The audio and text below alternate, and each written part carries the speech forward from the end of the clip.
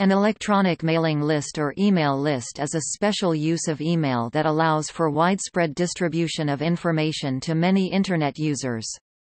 It is similar to a traditional mailing list, a list of names and addresses, as might be kept by an organization for sending publications to its members or customers, but typically refers to four things.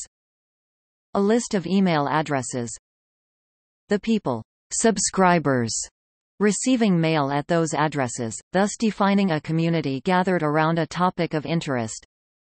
The publications email messages sent to those addresses, and a reflector, which is a single email address that, when designated as the recipient of a message, will send a copy of that message to all of the subscribers.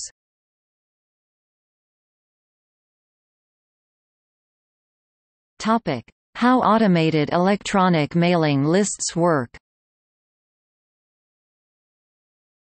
Electronic mailing lists usually are fully or partially automated through the use of special mailing list software and a reflector address set up on a server capable of receiving email.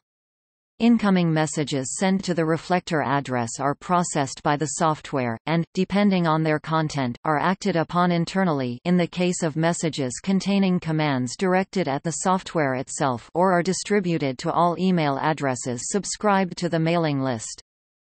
A web-based interface is often available to allow people to subscribe, unsubscribe, and change their preferences. However, mailing list servers existed long before the World Wide Web, so most also accept commands over email to a special email address. This allows subscribers or those who want to be subscribers to perform such tasks as subscribing and unsubscribing, temporarily halting the sending of messages to them, or changing available preferences, all via email. The common format for sending these commands is to send an email that contains simply the command followed by the name of the electronic mailing list the command pertains to. Examples, subscribe AnyList or subscribe AnyList John Doe.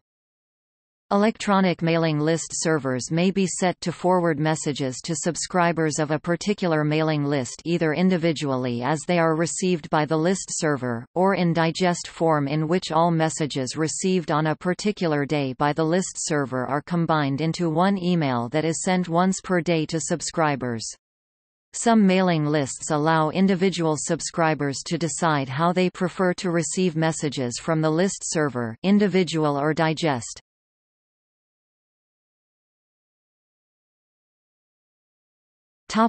History Mailing lists have first been scholarly mailing lists. The genealogy of mailing lists as a communication tool between scientists can be traced back to the times of the fledgling ARPANET. The aim of the computer scientists involved in this project was to develop protocols for the communication between computers. In so doing, they have also built the first tools of human-computer mediated communication. Broadly speaking, the scholarly mailing lists can even be seen as the modern version of the salons of the Enlightenment ages, designed by scholars for scholars. The threaded conversation structure, where the header of a first post defines the topic of a series of answers thus constituting a thread, is a typical and ubiquitous structure of discourse within lists and fora of the Internet. It is pivotal to the structure and topicality of debates within mailing lists as an arena, or public sphere in Habermas wording. The Flame Wars as the liveliest episodes give valuable and unique information to historians to comprehend what is at stake in the communities gathered around lists. Anthropologists, sociologists and historians have used mailing lists as fieldwork. Topics include TV series fandom, online culture, or scientific practices among many other academic studies. From the historian's point of view, the issue of the preservation of mailing lists heritage and Internet fora heritage in general is essential. Not only the text of the corpus of messages has yet to be perennially archived, but also their related metadata, timestamps, headers that define topics, etc.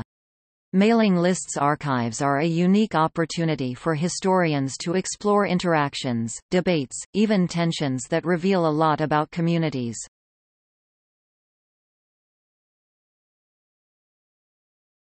Topic: Types.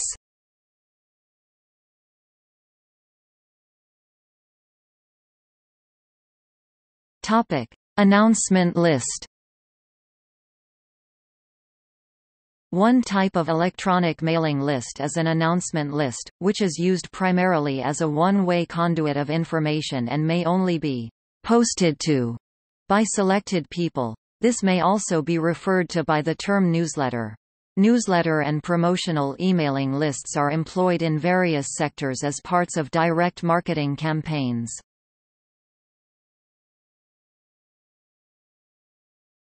Topic: Discussion list.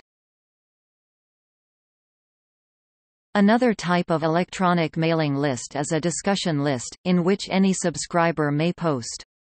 On a discussion list, a subscriber uses the mailing list to send messages to all the other subscribers, who may answer in similar fashion. Thus, actual discussion and information exchanges can happen. Mailing lists of this type are usually topic-oriented for example, politics, scientific discussion, health problems, joke contests, and the topic may range from extremely narrow to, "...whatever you think could interest us." In this they are similar to Usenet newsgroups, another form of discussion group that may have an aversion to off-topic messages.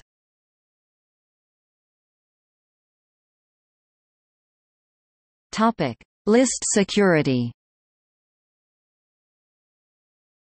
On both discussion lists and newsletter lists precautions are taken to avoid spamming.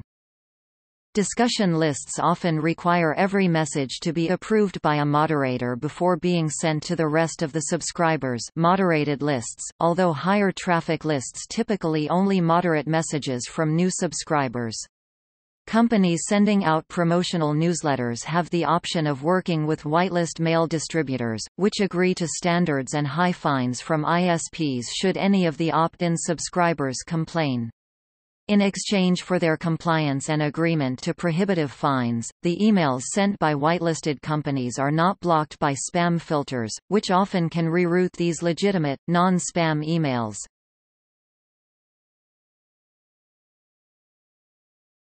Topic: Subscription. Some mailing lists are open to anyone who wants to join them, while others require an approval from the list owner before one may join.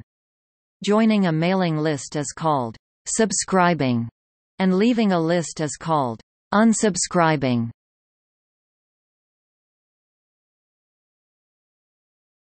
Topic: Archives. A mailing list archive is a collection of past messages from one or more electronic mailing lists. Such archives often include searching and indexing functionality. Many archives are directly associated with the mailing list, but some organizations, such as Gmane, collect archives from multiple mailing lists hosted at different organizations. Thus, one message sent to one popular mailing list may end up in many different archives. Gmane had over 9,000 mailing list archives as of 16 January 2007. Some popular free software programs for collecting mailing list archives are Hypermail, MHonArc, and FudForum. See also